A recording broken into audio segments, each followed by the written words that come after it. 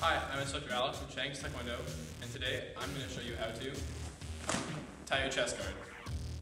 Alright, to start off, we're going to ask the person to put their arms on the outside of the chest guard and push back, so it's much easier for the person tying. You take a string and put it the top loop on the outside, on both sides. Then you're just going to continue to crisscross back and forth.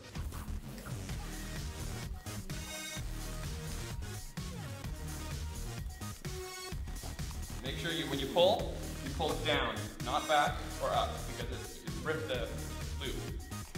And you're gonna tie it, like tie your shoes, like a bow.